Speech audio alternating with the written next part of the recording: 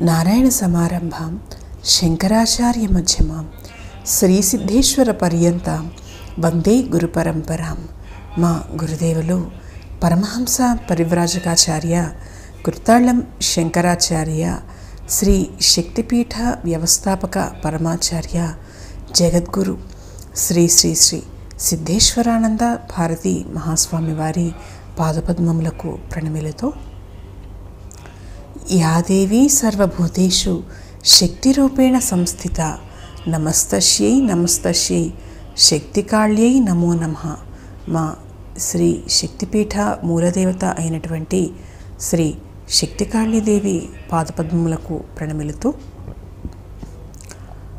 అరుణాం కరుణాతరంగితాక్షీం ధృత పాశాంకుశ పుష్పబాణచాపాం అణిమాదిభిరావృతాం మయూఖైః అహమిత్యేవ విభావయే భవాని జగన్మాత అఖిల బ్రహ్మాండాలకు అధీశ్వరి అయినటువంటి లలిత పరమేశ్వరి అమ్మవారి పాదపద్మములకు ప్రణమిలుతూ మా గురుదేవుల అనుగ్రహం దేవతల కరుణ అందరి మీద వర్షించాలి అని కోరుకుంటూ అమ్మవారి గురించి చెబుతూ గణాంబ అని చెప్పి చెప్పారు. అంటే గణాలకు తల్లి దేవతలలో ఎన్నో గణాలు ఉన్నాయి. ఆ గణాలన్నింటినీ కూడాను సృష్టించింది పరమేశ్వరి అయినటువంటి లలితాదేవే కాబట్టి అమ్మవారిని గణాంబ అని అన్నారు. అంతేకాక శివుడున్నాడు ఆ శివుడికి సంబంధించినటువంటి ప్రమథ గణాలు ఉన్నాయి. ఆ గణాలన్నిటికీ కూడాను ఆ పరమేశ్వరుడే తండ్రి అమ్మవారే తల్లి. అందుకని అమ్మవారిని ఆ గణములన్నిటికీ తల్లిగా భావించి గణాంబ అని చెప్పి చెప్పారు. అంతేకాక వ్యాకరణవేత్తలు చెబుతూ మాతృక వర్ణ రూపిణి పరమేశ్వరి గణములెన్నో ఉన్నాయి మనకి వ్యాకరణంలో. అమ్మవారు అక్షర స్వరూపిణి మాతృకా వర్ణ రూపిణి. వీటన్నిటికీ కూడాను ఆమె తల్లి కాబట్టి అమ్మవారిని గణాంబ అని అన్నారట పంచ ప్రణవాలతోటి ఈ నామాన్ని గనక మంత్రంగా చేస్తే ఓం ఐం హ్రీం శ్రీం క్లీం గణాంబాయై నమః అని చెప్పి ఉపాసించవచ్చు దేవగణాలకి ప్రమథ గణాలకి అమ్మవారిని తల్లిగా మాతృస్వరూపిణిగా ఎవరైతే భావించి చేస్తారో మాతృ స్వరూపిణిగా అమ్మవారి అనుగ్రహాన్ని వాళ్ళు పొందొచ్చు. మాతృ పూజ చేయొచ్చు విశేషించి అమ్మవారికి ఈ నామాన్ని మంత్రంగా చేస్తూ. అంతేకాక మాతృకావర్ణ రూపిణిగా ఎవరైతే భావించి చేస్తారో ప్రతి అక్షరము కూడాను ఒక మంత్రమే కాబట్టి ఎటువంటి మంత్రమైనా సరే తొందరగా సిద్ధిస్తుంది అమ్మవారి అనుగ్రహం వల్ల. ఆ దేవత గురించి చెప్తూ గుహ్యకారాధ్య అని చెప్పి చెప్పారు. గుహ్యకుల చేత పూజింపదగినటువంటి దేవత. ఎవరి గుహ్యలు గుహ్యకులు అంటేట దేవజాతికి చెందినటువంటి గణాలలో ఒక గణం గుహ్యకులు అని కనిపిస్తూ ఉన్నది. అంతేకాక బ్రహ్మాండ పురాణంలో మనకి ఈ గుహ్యకులకు సంబంధించినటువంటి జన్మ విశేషాలు కనిపిస్తూ ఉన్నాయి. శ్రీకృష్ణుడి గుహ్యదేశం నుంచి వీళ్ళందరూ కూడాను పుట్టారు. వీళ్ళందరినీ కూడాను కుబేరుడి దగ్గర ఉన్నటువంటి నిధులకు కాపలాగా కృష్ణుడు నియమించాడు. వాళ్ళే ఈ గుహ్యకులు అని కనిపిస్తూ ఉన్నది. అంతేకాక గుహలో ఎవరైతే రహస్యంగా సాధన చేస్తున్నారో వాళ్ళను గుహ్యకులు అని కూడా అంటారట. అమ్మవారు రహస్యంగా ఆరాధింపదగినటువంటి దేవత కాబట్టి వీళ్ళు గుహలో కూర్చొని ఈ సాధన చేస్తూ ఉంటారు అని చెప్పి చెప్తున్నారు. ప్రధానంగా ఈ గుహ్యకులు అనేటువంటి దేవగణం చెందినటువంటి వాళ్ళకి గురించి మనకి గంధమాధన పర్వతం మీద ఆ పర్వత గుహల దగ్గర వీళ్ళు కనిపిస్తూ ఉంటారట. భీముడైతే వీళ్ళలో చాలామందితోటి యుద్ధం చేసి చంపటం అనేటువంటిది జరిగిందిట. మహాభారత యుద్ధంలో మరణించినటువంటి కొంతమంది యుద్ధ వీరులైతే ఈ గుహ్యక గణంలో చేరుకున్నారు. అంటే యుద్ధంలో మరణించిన వాళ్ళకి వీరులుగా మరణించిన వాళ్ళు వీర స్వర్గానికి వెళ్తారు దేవగణాలకి చేరుతారు అని చెప్పినట్లుగా వీళ్ళు గుహ్యక గణంలోకి చేరిపోయారట. పంచ ప్రణవాలతోటి ఈ నామాన్ని గనక మంత్రంగా చేస్తే ఓం ఐం హ్రీం శ్రీం క్లీం గుహ్యకారాధ్యాయైన మహా అని చెప్పి చేయొచ్చు అమ్మవారిని ఉపాసించవచ్చు గుహ్య స్వరూపిణిగా అమ్మవారిని భావించి రహస్యంగా గుహలో ఉన్నటువంటి వాళ్ళు కనుక పూజిస్తే తొందరగా ఏకాంతంగా వాళ్ళు చేసే తపస్సుకి తొందరగా అమ్మవారు అనుగ్రహిస్తుంది కాబట్టి అలా సాధన చేసేటువంటి వాళ్ళు అమ్మవారిని ఈ నామంతో ఉపాసించి అమ్మవారి అనుగ్రహాన్ని పొందొచ్చు. ఆ దేవత గురించి చెబుతూ కోమలాంగి అని చెప్పారు. సుకుమారమైనటువంటి అవయములు కలది కాబట్టి అమ్మవారిని కోమలాంగి ఆమె శరీర అంగములన్నీ కూడాను చాలా కోమలంగా సున్నితంగా ఉంటాయిట. అందుకే ఆమెను కోమలాంగి అని అన్నారు ఆమె సౌందర్యం గురించి మనకి ఎన్నో చోట్ల కనిపిస్తూ ఉన్నది సహస్రనామాల్లో. ఇక్కడ ఆమె శరీర అవయవాల గురించి చెబుతున్నారు వాటి సున్నితత్వం గురించి చెబుతూ ఉన్నారు. అంతేకాదు అమ్మవారి గురించి ఈ నామంలో మరొక రహస్యమైనటువంటి అర్థం కూడా ఉన్నది అని చెప్పి చెప్పారు భాస్కర్ రాయల వారు. ఏమిటి అంటే హృదయదేవి శిరోదేవి శిఖాదేవి కవచదేవి నేత్రదేవి అస్త్రదేవి అనే ఆరుగురు అంగనాలు కలిగినటువంటి వాళ్ళు ఉన్నటువంటి పరమేశ్వరే కోమలాంగి. ఈ ఆరు కూడా కో ఆరు నామాలు ఏవైతే ఉన్నాయో ఇవి మనకి అంగన్యాసాలు కరన్యాసాలు చేసేటప్పుడు అంగన్యాసాల్లో మనకి కనిపిస్తూ ఉంటాయి ఈ ఆరుగురు అంగనలు కోమలమైనటువంటి అంగనలు కలిగినటువంటి దేవత కాబట్టి లలిత పరమేశ్వరిని కోమలాంగి అని అన్నారట. మామూలుగా శ్రీ విద్య సంప్రదాయంలో ఈ కరన్యాస అంగన్యాసాలకు చాలా ప్రాధాన్యత కనిపిస్తూ ఉన్నది. ఏ మంత్రం చేసినా కూడా అంగన్యాసాలు కరన్యాసాలు చేస్తే చాలా మంచిదిట. ఏమిటి అంటే ఇందులో ఆరు అంగదేవతల గురించి చెప్పారు. హృదయదేవి శిరోదేవి శిఖాదేవి కవచదేవి నేత్రదేవి అస్త్రదేవి అని చెప్పి.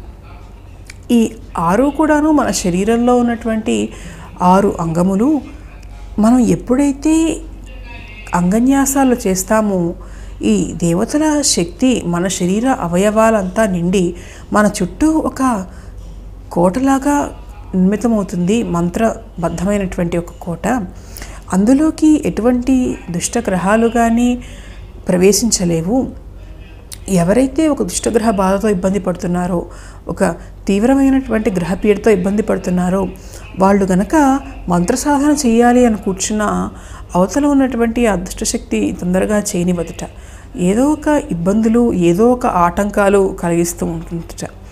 చాలామంది అయితే చెబుతూ ఉంటారు ఫలానా దేవత పూజ లేదంటే జపమో మొదలు చేయటం మొదలుపెట్టామండి వెంటనే మాకు అశుభం కలిగింది. ఆ దేవత ఏదో కోపం వచ్చిందని చెప్పి మేము అది చేయటం మానేసాము మా ఇంట్లో ఎవరు కూడా చేయరు ఆ దేవతని అని చెప్పి చెప్తూ ఉంటారు. కానీ అది పూర్తి అవాస్తవం. దేవతలకి కోపం రాదు. కోపం ఎప్పుడు వస్తుందంటే కేవలం అధర్మం మీద వస్తుంది ఇక్కడ జరుగుతున్నటువంటిది ఏమిటి అంటే ఒక వ్యక్తి ఒక కష్టమో ఇబ్బందో పోవటానికి ఒక దేవతను ఆశ్రయించడం జరుగుతుంది. దేవతను ఆశ్రయించి తన కర్మను పోగొట్టుకోవటానికి కావలసినటువంటి శక్తిని సంపాదించడం కోసం తపస్సు చేయటము జపం చేయటము పూజ చేయటము మొదలుపెట్టడం జరుగుతుంది. కర్మను జయించేటువంటి శక్తి అప్పుడే ఇంకా రాదు చేయటం ప్రారంభించిన మొదటి రోజుకో రెండో రోజుకో మూడో రోజుకో. కర్మకేమిటి? ఈ వ్యక్తి కనుక ఈ దేవతకు సంబంధించినటువంటి సాధన చేస్తే ఆ కర్మను జయిస్తాడు. కర్మ ఈ వ్యక్తిని విడిచిపెట్టి వెళ్ళిపోవాలి.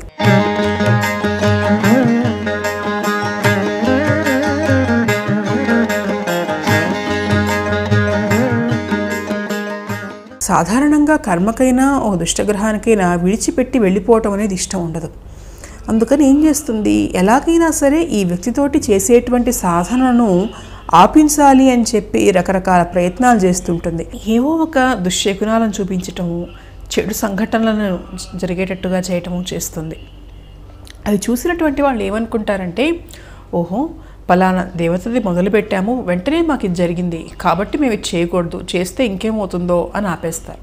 ఆ ఆపటమే కర్మకు కావాలి. వాళ్ళు గనక అమ్మో కర్మ మనల్ని ఇలా చేస్తున్నది ఇలా ఇబ్బంది పెడుతున్నది ఈ దేవతను ఆరాధించడం మొదలు పెట్టంగానే అంటే కర్మ వెళ్ళిపోవాల్సి వస్తుందన్నమాట అన్న విషయాన్ని తెలుసుకొని ఆ దేవతకు సంబంధించినటువంటి పూజనో సాధననో గనక కొనసాగిస్తే కర్మ వెళ్ళిపోతుంది. కానీ చాలా సందర్భాల్లో చాలామంది చెప్తూ ఉంటారు వచ్చి పలాది మొదలుపెట్టాక కొంచెం ఇబ్బందులు వచ్చేయండి అందుకని చేయటం మానేసామండి అని. అసలు ఇబ్బంది కర్మ. కర్మ వల్ల వీళ్ళు చేయలేకపోతూ ఆ కర్మ దేవతకు ఆపాదించేటట్లుగా చేస్తూ ఉంటుంది. కాబట్టి అటువంటి సం సందర్భాలు వచ్చినప్పుడు ఎటువంటి పరిస్థితుల్లో కూడాను ఆ సాధన ఆపకుండా కర్మను జయించేటట్టుగా సాధన చేసుకోవాలి. అయితే ఇక్కడ ముఖ్యంగా ఏమిటి అంటే ఈ అంగన్యాసాలు కరన్యాసాలు చేయటం వల్ల ఇటువంటి దుష్టగ్రహాలున్న కర్మ దోషాలున్న మంత్రపూరితమైనటువంటి ఒక కోటలాగా మనకి ఏర్పడతాయి అంగన్యాస కరన్యాసాల వల్ల. దేవత మన శరీరంలోకి ప్రవేశిస్తుంది కాబట్టి ఈ దోషాలు మనల్ని ఏమీ చేయకుండా మనల్ని రక్షిస్తాయి. ఈ న్యాసాలు అందుకే చేయాలి అని చెప్పి చెప్తారు. ఇక్కడ అమ్మవారిని సౌందర్య స్వరూపిణిగా భావించి వివరిస్తూ ఉన్నారు. పంచ ప్రణవాలతోటి ఈ నామాన్ని గనక మంత్రంగా చేస్తే ఓం ఐం హ్రీం శ్రీం క్లీం కోమలాంగ్యై నమ అని చెప్పి చేయొచ్చు.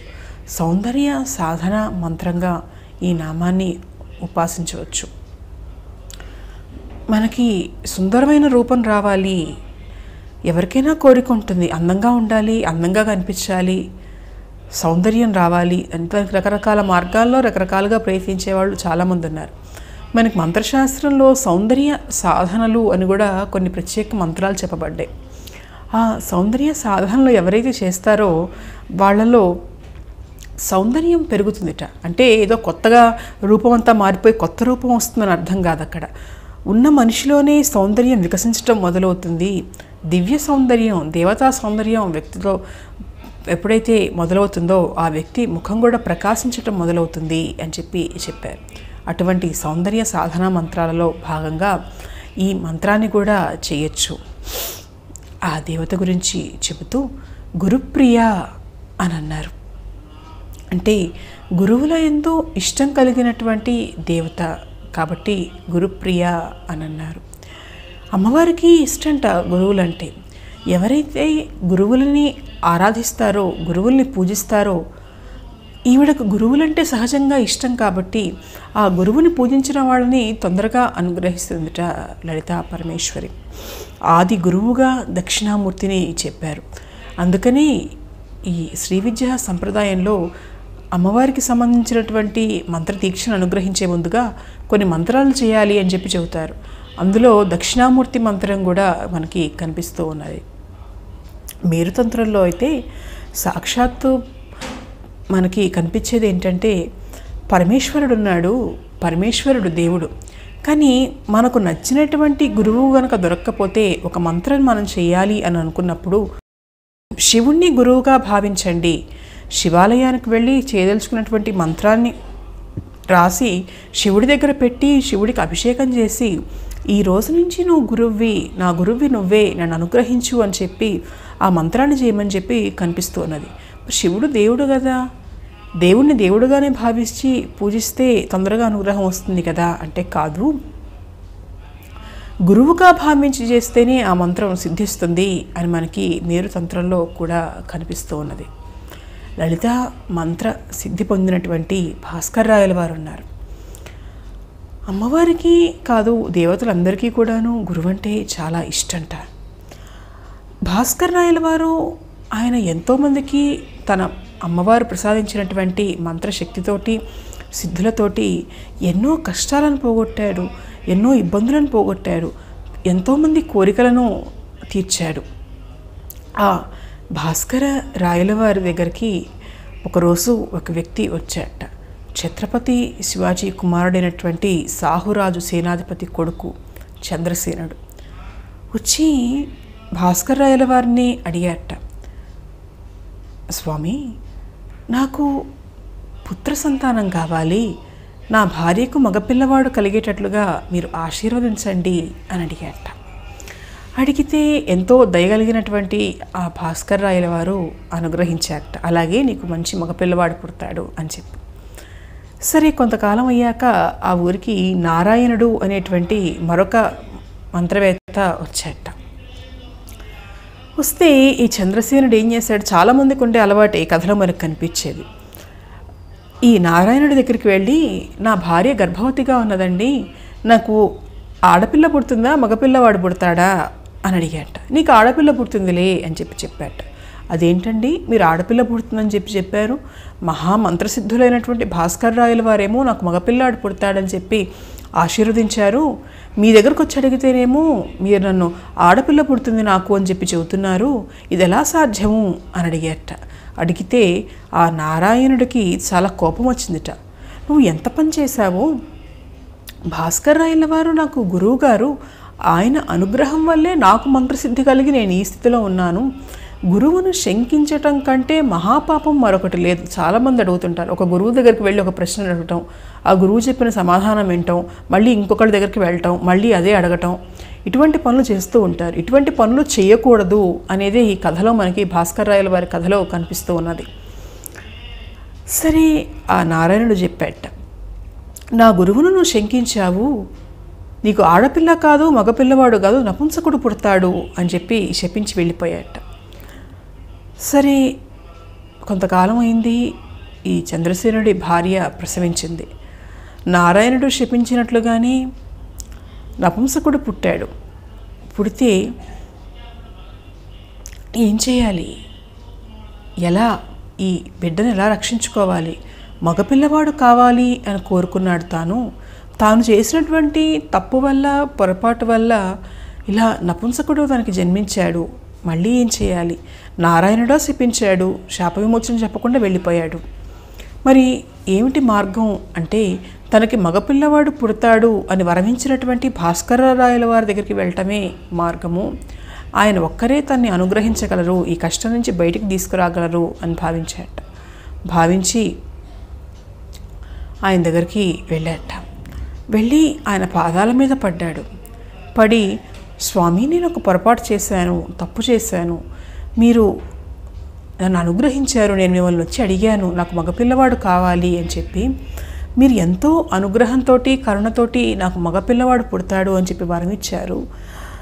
నా పొరపాటు వల్ల చపల చిత్తం వల్ల నారాయణుడు అనేటువంటి మంత్రవేత్త మా ఊరికి వస్తే నేను మళ్ళీ వెళ్ళి ఆయన అడిగాను. అడిగితే ఆయన ఆడపిల్ల పుడుతుందని చెప్పి చెప్పాడు. చెబితే అదేమిటండి? భాస్కర్ రాయల వారు మగపిల్లవాడు పుడతాడు కదా అని చెప్పి చెప్పారు. మీరు ఆడపిల్ల పుడుతుందని చెప్పి చెప్తున్నారు అని అడిగాను. ఆ నారాయణుడేమో శపించాడు. మా గురువుగారు మగపిల్లవాడు పుడతాడని చెప్పి వరమిస్తే మళ్ళీ నా దగ్గరకు వచ్చి అడుగుతావా నువ్వు? ఆడపిల్ల మగపిల్లాడా అని చెప్పి నపుంసకుడు పుట్టుగాక అని శపించాడు. ఇదిగో నపుంసకుడు నాకు జన్మించాడు. ఇతనికి పురుషత్వం వచ్చేలాగా అనుగ్రహించండి అని అడిగారట.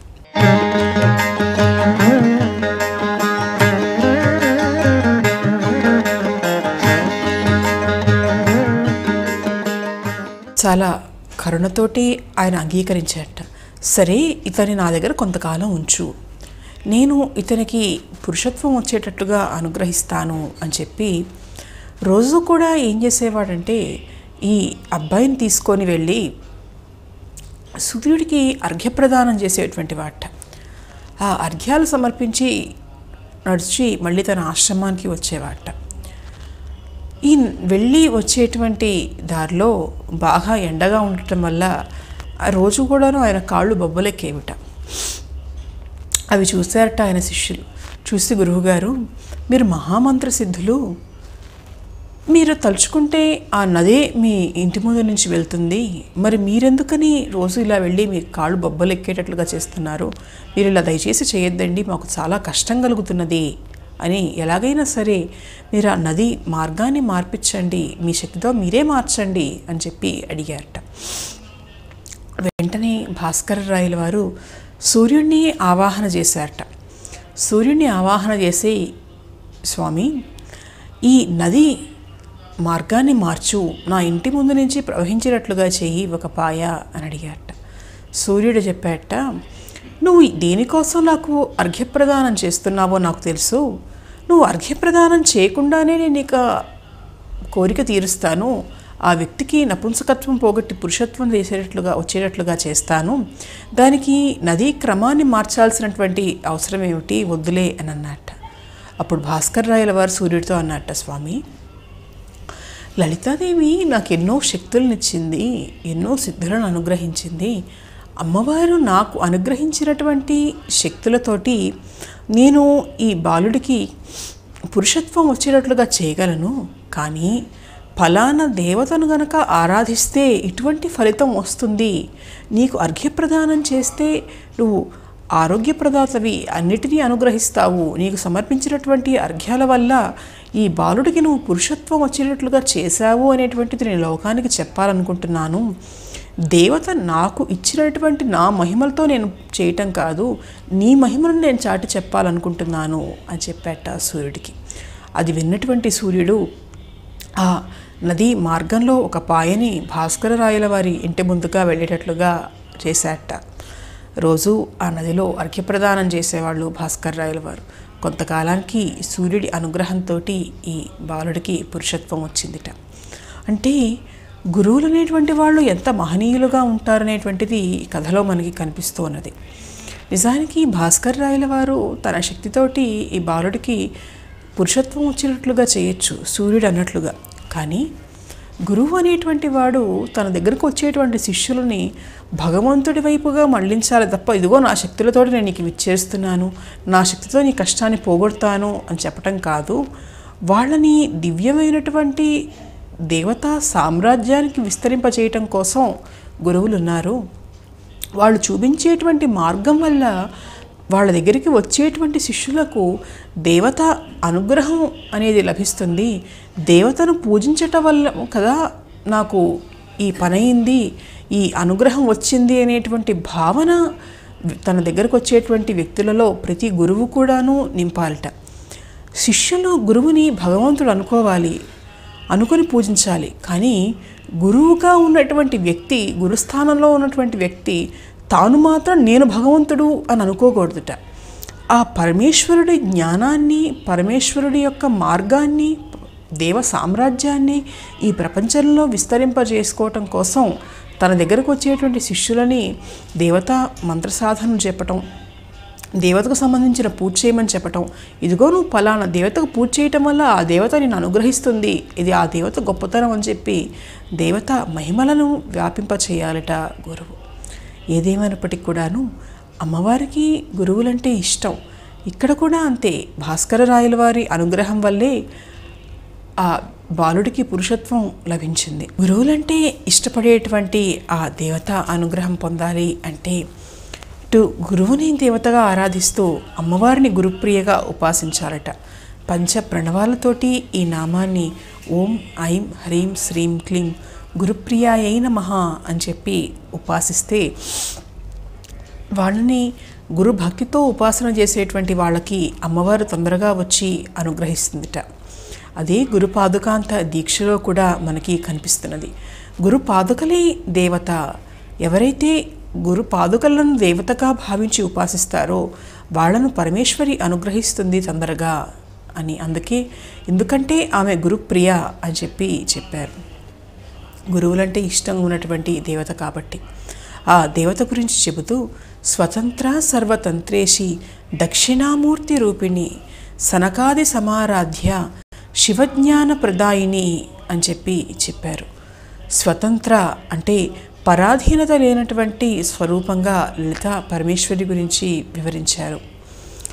ఆమె అందరిని సృష్టించింది ఆమె స్వతంత్రురాలు. ఆమెను ఆజ్ఞాపించేటువంటి వాళ్ళు ఎవరూ ఉండరు. పరమేశ్వరుడు కూడా ఆమె ఆధీనంలోనే ఉంటాడు. మణిద్వీపంలో శివుడు కూడా అమ్మవారికి ఇష్టమైనట్లుగానే ఉంటాడట. అక్కడ ఆధిక్యత అంతా కూడాను అమ్మవారిదే. ఆమె సర్వస్వతంత్రురాలు అని కనిపిస్తున్నది. అంతేగాక ఈ నామంలో మరిన్ని విశేషాలు కూడా కనిపిస్తున్నాయి. ఆ విశేషాలను అమ్మవారికి సంబంధించినటువంటి మరిన్ని రహస్య మంత్రనామాలను వచ్చే ఎపిసోడ్లో చెప్పుకుందాం. స్వస్తి. నారాయణ నారాయణ.